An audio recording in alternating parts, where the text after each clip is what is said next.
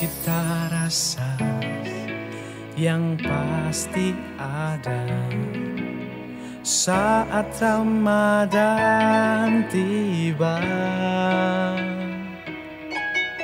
Tak banyak diketahui peristiwa hadirnya Tak hanya pelepas dahaga puasa Sang wali Allah menyiratkan dakwah Lewat manisnya kolak berbuka puasa.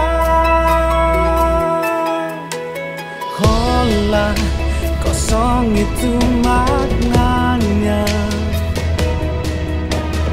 Holako berarti mencipta dan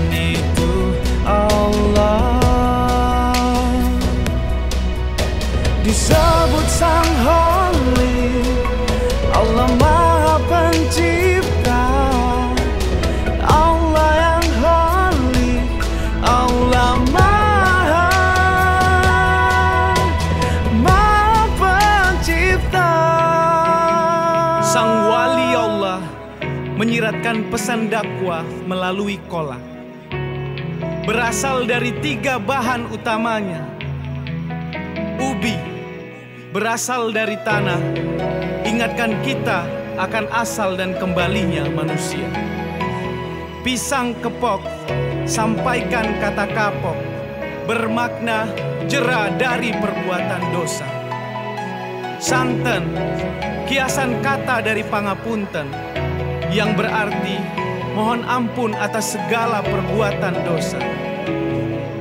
Inilah pesan para wali tanah Nusantara Manisnya kolak berbuka puasa, manisnya ampunan Allah yang Maha Pencipta. Sang wali Allah menyiratkan dakwah lewat manisnya kolak berbuka puasa. Kolak kosong itu maknanya. Halakah berarti mencipta dan itu Allah disebut sang holy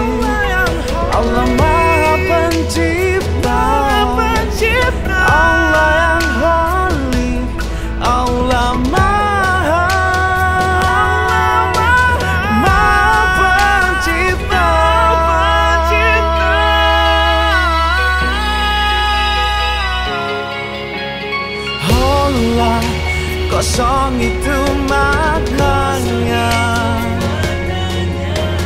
Holako berarti mencipta dan itu Allah